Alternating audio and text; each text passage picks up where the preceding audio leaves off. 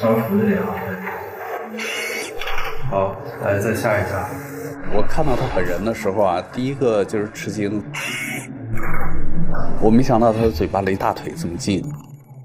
画面上这个身体严重畸形的患者名叫李华，四十六岁。这样严重的身体畸形，已经伴随了他长达十一年之久。在医院第一次见到他，我当时真的是心里七上八下的。到极限了，更痛苦的就是什么？就是这些关节都是僵硬的，真正的是面朝黄土背朝天的那一种生活状态。这我就不知道这么多年他怎么能够存活下来呢？李华的上半身已经完全折叠在了腿上，他的脊背弯曲成了 C 型，他的脸部只能正面贴在自己的右腿上。他说：“妈妈，我这个病治不好，怎么办啊？”我怎么办？我讲我生你出来，我尽我夫妻的能力给你医治好了。听到哪个医院治得好的，我就给带他去看。我儿子还是可怜，后来他他到医院去了，脚嘞不能走路了，我就背他去，背他到到楼下去。我那时候是四十多岁了，我现在有七一岁了。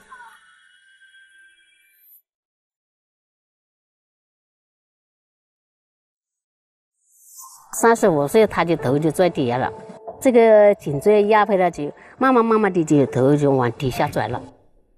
李华十八岁开始犯病，二十七岁时颈部开始逐渐折叠，二十九岁时头已经无法抬起，后来上半身也逐渐弯曲，三十三岁时已经弯曲到九十度，三十五岁时李华的面部就弯曲到了距离大腿仅仅不到两公分的程度。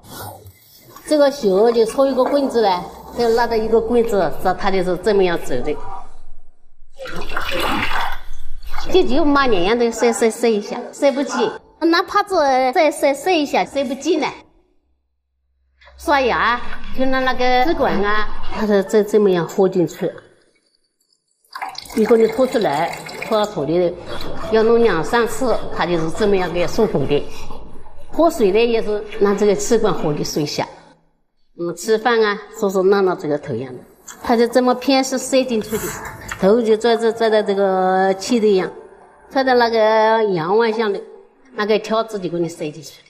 吃饭他就是这么样吃的，吃饭他最少要四十分钟，慢慢吃，慢慢吃的。中午吃一点饭，早上吃点面条，晚上他就不吃了。李华十多年来，已经习惯了这样一种生活方式。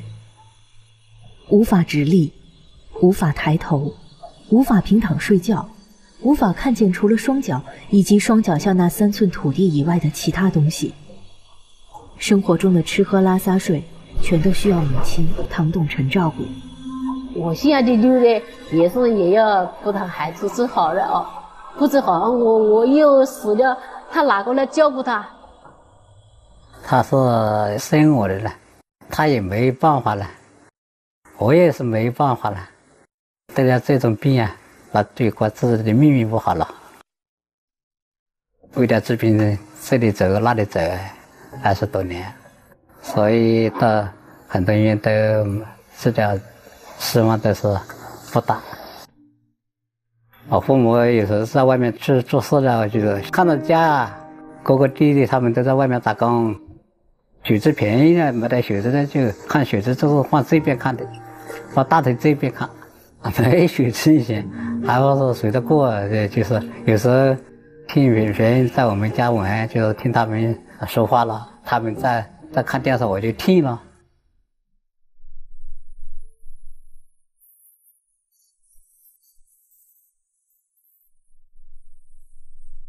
从青丝到白发，母亲带着李华曾去过十多家医院，但李华的病情却愈发严重。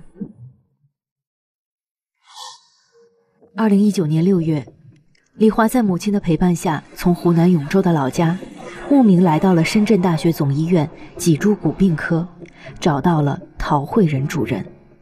你要走的话，右手必须得扶吗？是啊，不扶不扶不行。是啊。我们做这个脊柱畸形矫正的医生啊，这种病例可能一辈子都很难碰到一个，就到这个地步就再下不来了。我们管它叫三昂折叠人，也是确实是第一类的三昂折叠人。第一个昂，下颌在胸之上；第二个昂，胸骨紧贴着耻骨；第三个昂就是嘴巴贴着大腿了。你能蹲下来？就拿一个东西蹲。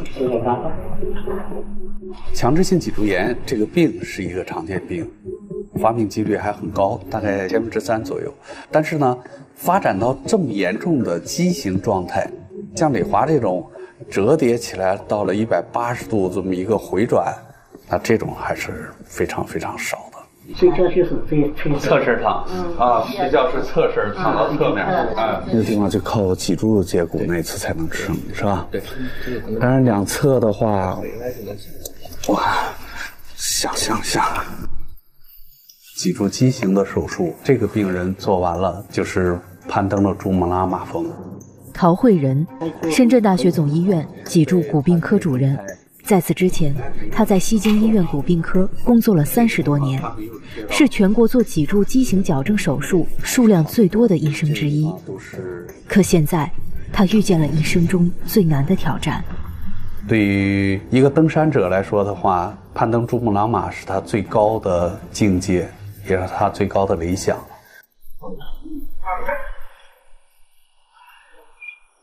像他这样严重的，我们是第一次遇到。还要进那个扫描的那个区间的话，都很困难，很费劲。它整个相当于是把它叠成两层嘛。我们那个 CT 机的电压可能要高一些。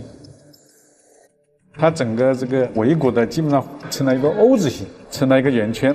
鼻尖跟大腿大概就这个距离，这充气量大概是两点六，这个不包括软组织。如果说时间再长，也许就折了。因为他长期不运动，他就会导致钙的流失嘛，引起骨质疏松。这个人的生存能力还是很顽强的。这如果不治的话，他会面临什么样的后果？我觉得活不了多长时间。第一个是饭量不行了，第二个的话，他那个皮肤都已经开始感染了，压烂了。那这种情况，慢性感染他也就没命了。他这样再长期压下去，他的肺功能也不行了，肺功能也不行了。那他活不了多长时间。陶慧仁主任，也许是李华在经历了无数次绝望之后最后的希望。这一天，深圳大学总医院的书记带领麻醉科、关节外科、感染科、影像科、消化科、呼吸科、血管外科、手术室、康复科等十几个科室的主任前来会诊。讨论陶慧仁主任为李华设计的手术方案。这应该是全国最重的一个折刀人了，到现在为止，这个下巴刚好在两个腿之间，所以你能影响你的插管。为了能让李华挺直身板，陶慧仁主任按先易后难的顺序，为他设计了一套分开做四次手术的治疗方案。我们一步一步来做，第一步的话，把髋关节给截断。第一次手术截断李华的股骨颈，使李华面部与腿的距离能打开一定的角度，让李华可以趴在手术台上。第二次手术截断李华的胸腰椎，让李华可以直起身板。第三次手术为李华换上人工髋关节，让李华可以正常走路。第四次手术也是风险最大的手术，截断第七颈椎，让李华最终可以抬起头。这个手术的话，前前后后四次手术，大概持续至少一到两个月的时间，这个压力也是蛮大的。比如说回来之后，四次手术，每次手术都面临巨大的困难和难以想象的风险。比如说最简单的一步是髋关节，髋关节打断了，如果我们接不上，那他就一辈子坐不起来了，站不起来了，死亡的风险要比普通的脊柱外科要大得多得多。这个地方可能要提一点的就是这个骨质疏松非常严重，反映在那些对愈后肯定是有很大的影响。最大的问题就是，我觉得这个安全性上，因为我们没有复苏和抢救机会，出现惊厥或者是呼吸困难的话，就没有机会。忧虑、担心、疑问，弥漫在会诊现场的每个角落。尤其是麻醉科主任孙艳元提出的能否安全麻醉的问题，这是能否为李华进行手术的决定性前提。我有点担心这个，就是他的头啊，他是这个样子。你不是侧卧位吗？我不是侧卧位，就是你管子往里进的这个过程没有问题。那当然有问题了，怎么能说没问题？那这个他确实难是难在，我觉得也是你这个地方进不去，这个地方。我要让这个病人在手术之前就睡着，全麻病人在睡着的同时呼吸是停止的，要插一根管子，从口腔或者鼻腔一直插到肺里进行这样的机械通气。这个管路的建设，一般对于普通的病人来说，并不是什么难事，可是对李华来说就太难了。他的鼻尖儿就是马上就要贴紧大腿。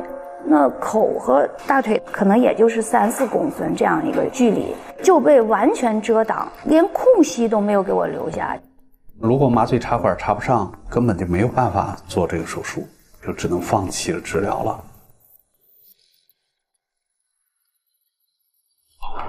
为了能尽快做上这次手术，李华住院两个多月来，每天除了吃饭、睡觉、上厕所之外，就是不停地锻炼自己的呼吸功能和机体力量，他已经迫不及待地等待手术到来的那一刻。有十多年了，有十多年，他一直在家里等呀等呀，等到没有这个好医生给他医治好。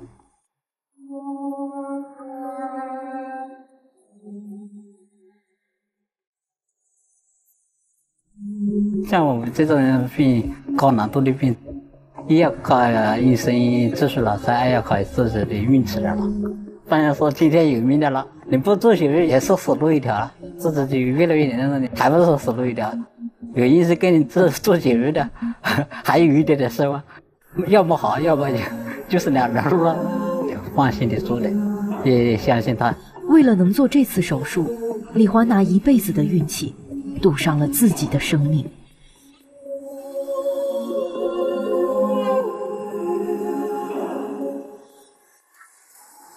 治好之后，你第一件事想做什么？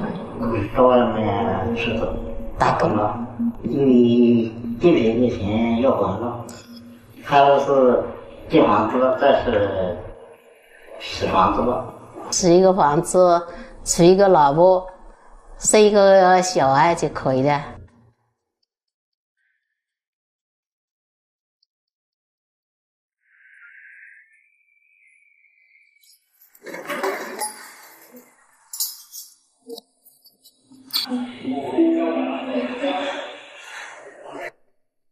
老板，加油啊！呃，你准备好液体了吗？手术按照计划如期进行，李华的大哥也特地赶来，陪母亲一起在手术室的门外等候。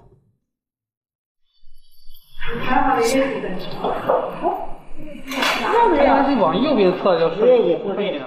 能不能做是一回事儿，敢不敢做是另外一回事儿。实际上，我敢做它的话，除了对自己的这个技术很了解之外啊，最主要的还是我的这个团队了。麻醉的孙主任是我在西京医院的老同事，将近上千台的就脊柱侧弯麻醉，所以我特别信任他。再来一点啊！好，好了。麻醉科孙艳元主任带领团队，为了这一天，早已做了各种器械准备和心理准备。这样的病例，作为一个麻醉医生来说，一生中碰到的几率是极低的。他们知道，今天他们有可能创造一项前所未有的麻醉手术的极限可能。更重要的是，他们成功与否，关系着李华生命救治的希望。他是九死一生的手术。这是锁骨关节，直接扎。要扎就是锁骨下或者是锁骨上有一点疼，稍微忍一下啊。太厉害！血管穿刺还算顺利，难点和最关键的地方在气管插管。面对一个面部距离大腿仅仅只有一点八厘米，并且气道血管已经发生多处变形的患者，孙艳元知道人生中最大的挑战就在眼前。要往那边倒一点，往后来一点，往这边再来一点。最好的方法就是清醒插管。那清醒插管呢？因为它不能完全暴露气道，不能使用其他的可视设备，比如说光棒啊、可视喉镜啊，这些都不行。那我们就只有用这个或者盲探。孙主任把李华摆成了侧卧位，他需要先对李华进行口腔和气道的局部麻醉，减少李华在清醒状态下做气管插管时的疼痛感。孙主任先把一根管子从鼻孔深入到李华的喉咙。先知镜它是一个光纤设备，在它前端有一个摄影，还有光源，它是可弯曲的。那这样，我即使在一个不可能的一个角度下，我只要能让这个像蛇一样的管子伸进它的气道，把这个镜子能送到肺里，然后再让我的管子顺着这个镜子慢慢慢慢慢慢滑进去，这是我们可以采用的唯一的一个方法。因为李华特殊的体位和角度，平常很轻松的操作，在此时却显得异常艰难。孙主任只能一毫米一毫米的向李华的气道试探。嗯，两次机会，进去就进去了，进不去我就要放。有点不舒服，忍一下啊。你要疼就要说话，有一点点难受啊，再忍一下。先吸痰。你先让我看呐，先回来。那龙组长，退退，不要吞口水。快点，含住，别说话，说不出话来。现在深吸气，好，非常好。先吸气，深呼吸，深呼吸，李华，不要给药啊。李华，深呼吸，快呼，等慢点，上来再吃药。你怎么给这个镇静药、镇静药，让他觉得舒服？但是不能给的太多，恰好让他的心肺功能，让他既能保持和你对话，还能配合，可能就是我们以前积累的经验在这中间发挥了作用。我这个，妈已经成功了，睡着了，睡着了，最关键的一条。气管插管顺利完成，李华进入深度麻醉状态，外科手术正式开始。按照陶主任的四次手术方案，今天进行第一次手术——股骨颈截骨手术。医生要在李华的双侧髋关节处把李华的双腿打断，目的就是使李华折叠的身体可以打开一定的角度，让面部距离大腿仅有的一点八厘米能够扩展到更大的距离，为下次对李华俯卧位做腰胸椎截骨手术创造条件。因为这是属于关节外科的手术，所以陶慧仁主任特地请来了西京医院的老同事，也是国内关节外科领域的知名专家吴瑶平主任。这个手术相当相当好，没有空间。要不怎么让你来呢？啊，我他这辈子还没有这样做过呢。手术的体位是截骨手术中很少见的侧卧位。吴瑶平和陶慧仁两位主任决定先打断李华的左侧髋关节。那这是要钱呢？那你是这边第七个，这床可以不？再往这，再再再再摇一摇。好好好，这样可以了。吴主任找准定位，划开了一道七厘米的切口。接零。就说我现在。好，可以可以可以可以可以。体位的摆放都是非常非常罕见的。没有任何可以回旋的余地，就是它的窗口就那么一点点大，在这个小窗口里要完成所有的过去的截骨操作，既要为下一次手术留好足够的余量，又要这一次也要创伤也要小，眼睛看不到，只能靠视去摸，是最难的。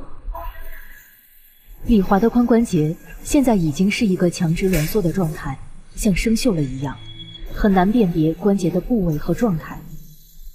如果截断的部位不够准确，那么后续将很难再给李华进行假关节的置换，李华的双腿可能就再也站不起来。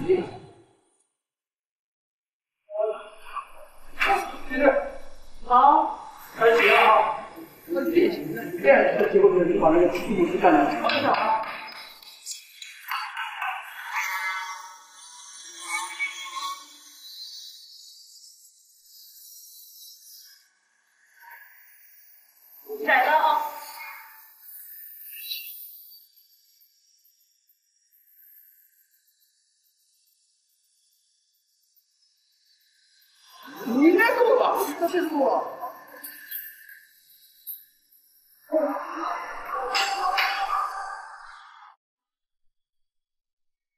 吴瑶平主任用了一个多小时，少量的出血就完成了双侧股骨颈的截骨手术。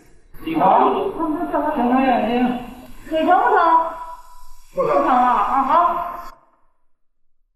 李华在家说好，谢谢你。啊。来，让李华给我们做了很多，辛苦了，你们辛苦了。你。其实还可以再躺一躺。哦哦哦。嗯，好，我走。这两天会有点疼，李华啊。第一次手术结束后，按照计划，李华将在两周后进行第二次腰胸椎的截骨手术，但是计划赶不上变化快。髋关节截骨之后啊，李华就是坐在床上那种状态，我们就看得出来，按原计划做腰椎的这种截骨啊，他趴不了在手手术台上，他趴不下去。李华面部到腿的距离虽然从术前的一点八厘米扩展到了三十多厘米，可是依然无法达到能让他趴在手术台上的条件。这整个就是这样，截完了之后，软组织松解。此时，陶主任要么选择让李华侧卧位做腰胸椎的截骨手术，可这样的话，手术难度和瘫痪的风险将是前所未有的；要么选择先做颈椎截骨的手术。可这样同样面临巨大的风险，并且是全新的手术尝试，让李华坐在手术台上接受颈椎截骨。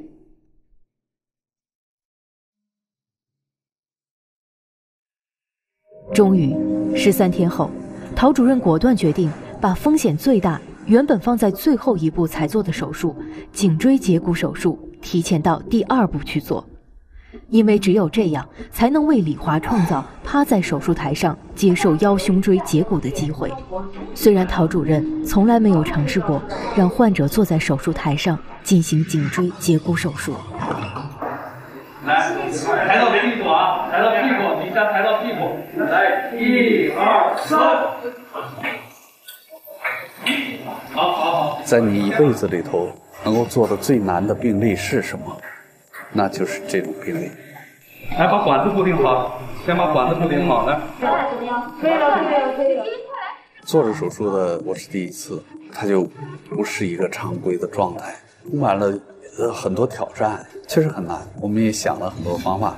影像显示，李华的头和胸畸形最严重的部位，也是畸形最顶点的部位，是在第七颈椎。陶主任要做的，就是要截掉第六七颈椎之间的整个椎间盘和第七颈椎的上三分之二，然后对整个颈椎进行矫正复位，使李华的下颌与胸骨的折叠打开合适的角度，再对颈椎进行固定。颈期的截骨啊，它的风险要大，因为呃颈期截骨的话，一旦发生截瘫是高位截瘫，这是手脚都活动不了。在第七颈椎做截骨手术，在国内来说，李华是第二例，因为第七颈椎位置很高，如果在截骨过程中伤及颈椎内的脊髓神经，那么李华就会高位截瘫；如果损伤颈椎内的椎动脉，那么就会造成大出血，危及李华的生命。这是四次手术中风险最大的一次手术，再加上李华只能坐在手术台上进行手术，所以风险系数和难度系数更是成倍增加。手术室里，所有医护人员的精神都高度集中，因为面对这种前所未有的高风险手术，他们不能出现任何的失误。来来来，头环来。做手术的时候，我们头上给他打一个头环，然后把他头给吊起来。我要控制头部，避免头掉下来怕了。再给我拿那个针来。医生们在李华的两只耳朵上方分别用两根钉子来固定，两根钉子要打进李华皮下约一公分左右。你那边上上了吗？直接拿绷带了。你那个绳呢？绳在那儿。钉子固定好，还需要用绳子直接对李华的头部进行牵引。为了预防万一。陶主任还对李华进行了生物脊髓监测，他能及时提醒陶主任术中是否伤到了脊髓。陶主任沿着李华的颈椎划开了一道长约十公分的切口，在这个位置做截骨呢，因为就是颈椎的脊髓碰一下子就塌了，所以我们手术当中是特别小心的，我们用超声骨刀手术的安全性就要高得多。很快，李华的颈椎就暴露了出来。翻过来，翻过来，把这个东西往上。在截骨的时候，我第一个，我头那个地方我要有一个头环，我要。第二个，我们就是打断一半的时候，就赶紧上一个叫临时固定棒固定的，然后我们再去打断另外一半。陶主任开始对颈椎进行复位，这是整台手术最惊心动魄的时刻。能抬了吗？抬头了吗？我们现在抓住头了，抓住头了是吧？好，往上抬，大点声说，你们说你们要抬了就说一声。我们把颈椎截骨之后啊，要把脖子给它抬起来，但是又不能抬得过高，抬得过高的话，容易出现看不到地面的这种情况。所以这个时候呢，往往是靠。好，再抬头，还有多少啊？下巴离那个胸有多远了？就是那个下巴和胸骨之间可以放全部进去了。除位的时候啊，听到这个骨头断的啪的一声，这个时候是很担心，担心什么呢？就是断的这一瞬间呢，骨头不能错位，如果一旦错位的话，神经也就受损伤。所以这个时候控制要好。我最担心的就是这个。你看现在怎么样？刚测了，好的呢，是吧？我们经常会问监测的脊髓监测怎么样？他回答好的呢，那就告诉我们的脊髓。你再矫情一点啊！然而就在此刻，麻醉科孙主任却发现李华的脑供血指数越来越低。越来越低了。什么东西越来越低了？挠痒，脑供血。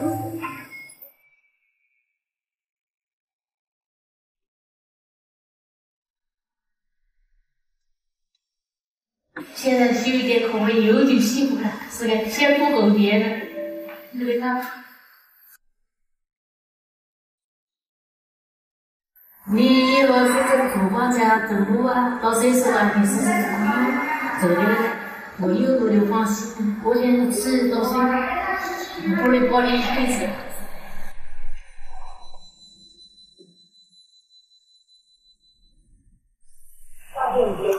赶紧赶紧撤下去，这边往往下是吧？都可以，你看你怎么加，稍微轻开一点了。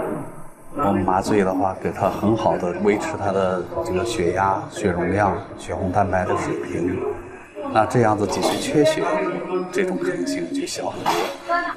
很快，李华脑供氧指数恢复平稳。又测了一下吗？对。血还行吗？我看一下。反应不？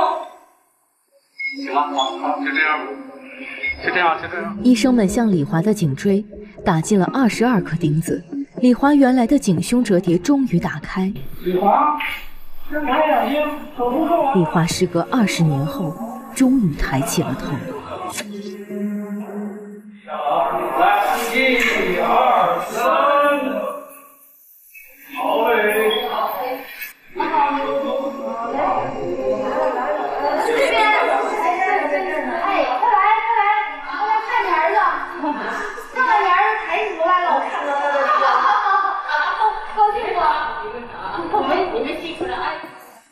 时隔二十年，李华终于可以抬起头，正常看见母亲的面容，而母亲也终于可以好好看看儿子抬起头的模样。李华的眼睛因为长时间斜着看东西，眼珠也变得不再对称。母亲心疼儿子的同时，更看到了儿子能挺直身板站起来的希望。你要听医生的，医生也叫你什么做，你就这怎么做了。给他的病治好了，我们一辈子都幸福了。二十多年了，给他治好了，他狮子也好，我也好啊。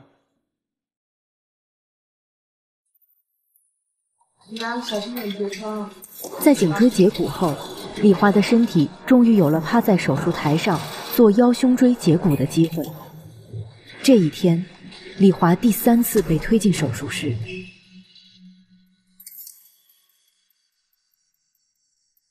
这次手术是四次手术中难度最大的一次。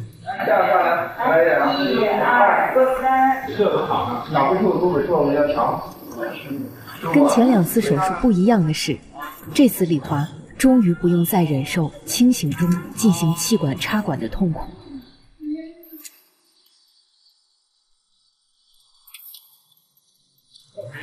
但是因为李华特殊手术体位的需要，麻醉科医生只能在牵引床上对李华进行麻醉，成功后再把李华放到手术台上。全贴扎实了，他一旦改好体位，你就没机会了。此次手术，陶主任要对李华进行第十二胸椎和第三腰椎的截骨。李华此时的身体虽然打开了一定的角度，但是他的身体依然呈 V 字形，并且颈椎刚做完截骨。双腿的股骨颈是截断的，所以怎么让李华能趴在手术台上，成为了考验所有医生的第一道难题。俯卧位要趴着去做，那么病人他几乎是个 V 字形，他趴不下。我们做了很多的这种手套，就把这种手套灌上水，然后就用这种棉质的这种袜套，给他做了很多的这种各种形状的，有粗的有细的，根据手术的需求，然后就是一层一层的给它垫起来。怎么样？你在哪好了吧？你们俩在这个地方，有一个人在这儿，他的腿咱俩在这边接。李华此时是侧躺在牵引床上，正面朝上，医生们要一起把他抬起来，让他正面朝下，俯卧位趴在手术台上。床往下走，扶好扶好。等一下，好，开始。待会儿你们搬的时候啊，直接就上来了啊，抬高一点，你这头不能不能转。你手不要用太大的劲儿。抬的过程虽然看着简单，但是风险极高。万一伤及李华的颈椎，那么极易出现脊髓损伤，有可能造成高位截瘫。气管插管一旦脱落，那么李华可能就会在睡梦中再也醒不过来。如果截断的双腿出现错位，那么李华也极有可能再也站不起来。来，整个人抬起来。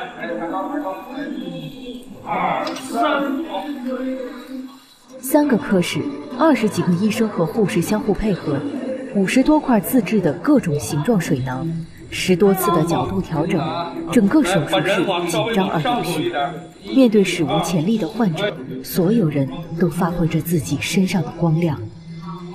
所有人就是像抬着一件无价之宝一样的，这样子拖着他，一点一点的去改变他这个体位，因为你稍微快一点，有可能就把它折了。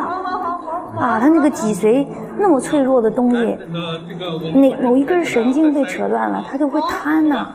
真的是那个所有人都是喊着号子的，一二三拽，抽出一个垫子来，一二三拽，拽出来一个垫子，然后一点一点给他铺。说可以了吗？可以吗？不行，塞再塞个小的，就这样子。那真的都是跪在地上，护士特别不容易。一二三，这是李华最终的手术体位。李华的身体像一座山一样俯卧在手术台上。拉塞了，他这个腿。看么感觉颜色更深？就在所有人还没松口气时，一位护士突然发现李华的右腿出现了不正常的现象。对，右侧的腿怎么颜色也深？B 超来来来，B 超看一下。我看到没？这里头这个这个东西，这个大块这是新鲜血栓。这个这个这是前前马，这边也有。李华右腿的静脉血管中突然出现了大量的新鲜血栓。这对手术来说是非常危险致命的因素，因为血栓一旦在血管中游走到肺部，就可能导致李华因肺栓塞而窒息死亡。进了这个，我他腿也没有可以了，可以了，行行行，好了好了好了，来来来来来，赶紧赶紧过来，把那材子扔了。十二点零八分，手术正式开始。李华的母亲并不知道手术室中发生的一切，他和大儿子一起守在手术室门外，等待李华出来的那一刻。手术室里，陶主任精神高度集中，截骨、打钉子、复位、矫正、固定，再矫正、再复位、再固定。因为李华特殊的体位，再加上血栓的风险，陶主任必须做到既要精准，又要尽可能的缩短手术时间。因为随时都有可能出现不可控的风险。第三次手术要比头几次手术呢创伤要大，出血。我担心的是胸十二截完了之后，可能他是不是出血太多，没有办法接腰塞。孙主任很有信心的说，没事儿，出血不多，出血大概也就一千多毫升，病人情况非常好。紧接着腰塞刺就做完了，这样的话就让李华少遭一次罪了。经过九个半小时的手术，陶主任完成了李华胸腰椎的截骨和复位。那个现在看都顺利，他那个什么脚型也挺好的，就能躺平，能躺平，这样脚型也挺好的。就是我早晨担心的血栓的问题，这个我们现在下一步的话，就是只要不感染，没有血栓就可以了，我们就直接回病房了，也不用去 ICU，好吧？好好，谢谢你哎哎，好，麻醉医生没问题了吧？测，一二走，把肩膀扶着啊。抬起来，抬起来，好，抬起来是吧？哎，一二三，放下。李华醒了没？能平躺在床上的这一刻，李华等了二十四年。你是不是躺着的？你是平着躺的，而且能看见天花板了。他的第一句话就说是“我要躺下，我要躺下”。当时我们觉得很奇怪，就说他已经都躺下了，他已经躺下了，为什么他还是说要躺下？就后来我们就在这分析啊，他多少年了，他对于他来说，他躺下始终就是侧卧，他没有就是说是二十多年以来从来没有在仰卧仰卧平躺过。说实在的，挺感动的。那会儿觉得，就是从病人一个微型的一个体型，最后变成了一个他能平着，能能就像正常人一样躺到这个手术床上了。哎呀，觉得就是说这个，感觉到就是说这个团队，我觉得是挺不容易的，也挺伟大的。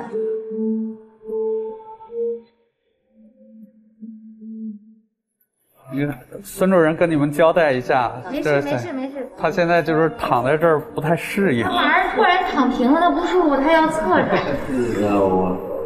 但是现在确实是你看，你满意不满意这个手术效果？好回吧，好回病房，回病房。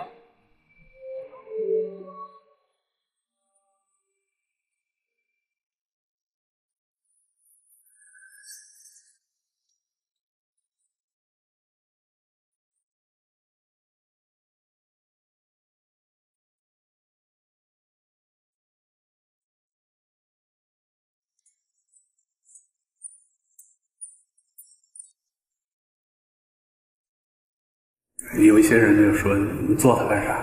冒这么大的风险，做这么大的手术，一旦做坏了怎么办？就是你一个医生啊，你总要挑战自己啊，才能做这个难的手术嘛。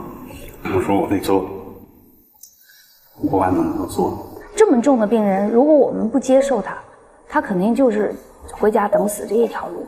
他未来的生活，那可以想见是多么的，就是灰暗。那我们可能是他最后一次机会。我们单身有一个职业的感觉，就是这种病人太有意义了。你你学医一辈子，能不要说给很多，给几个这样的人，拯救他的这个生活和他的那个好不容易的人间一趟，是吧？感受生活的能力。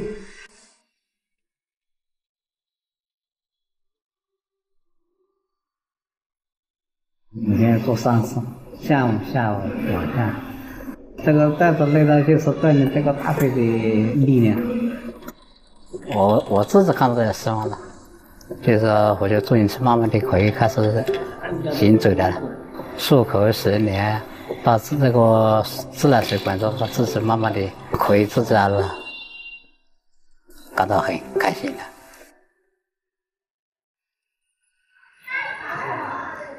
我从生病有二十多年了，在这在我弟弟家都没有吃美，很舒服，很高兴。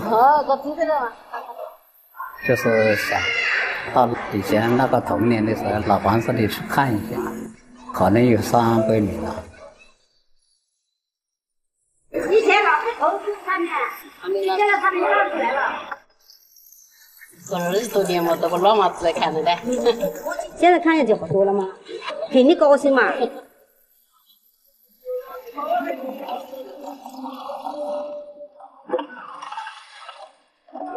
喜大喜大发财，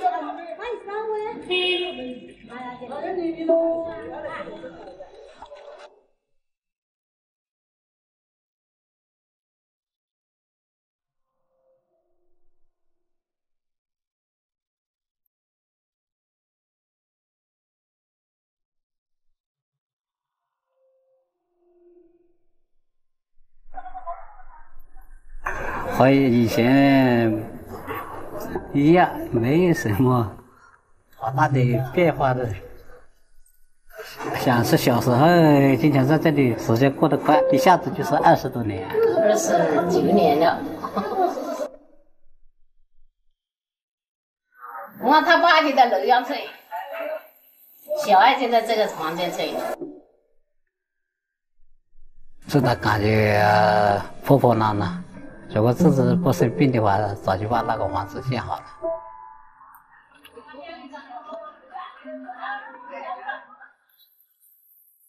你，想都没想到会有这么今天。大娘就这他，然后他是尽心尽力的送饭、倒水、倒小便、洗衣服。这个老妈真是了不起的。没有母亲的精心教育，教教他来今天哦这样的。生活的意义在世界上呢多活一点吧，多看一点吧。是是要保养自己的身体的，是吧？我是这保养身体好，我就跟我儿子鼓励对他好一点呢，是。